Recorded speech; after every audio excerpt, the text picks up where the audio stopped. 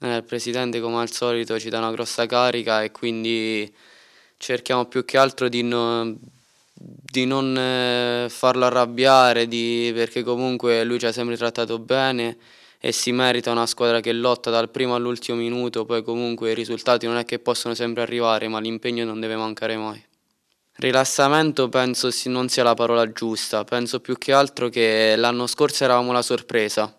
e quindi le squadre non si aspettavano un Teramo così in grado di, di distruggere il campionato come alla fine è stato. Quest'anno si aspetta il Teramo che l'anno scorso ha fatto, fatto tanto bene e quindi vivono le partite in maniera diversa. Come si è visto l'Arezzo è venuto qui tutti sei indietro, tutti a difendere il risultato, nonostante avessero l'uomo in più. L'Aquila praticamente ha fatto la stessa partita perché occasioni create, è vero che noi non abbiamo creato tantissimo, però comunque nel primo tempo abbiamo avuto il 70% di possesso palla, che quindi vuol dire che la partita la provi a fare, dopo le cose non riescono, non riescono, però comunque la partita la volevi fare tu, non è la squadra avversaria che fa la partita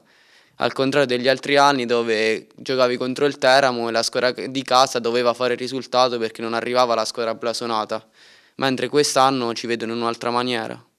Ah, speriamo che la Romagna ci continui a portare bene, quindi andiamo a Rimini, fatto gol di testa, ma soprattutto era importante sfatare il tabù trasferte. A Sant'Arcangelo ci siamo riusciti, però adesso dobbiamo ricominciare da dove avevamo lasciato prima dell'Aquila, dalle due vittorie e dai due pareggi.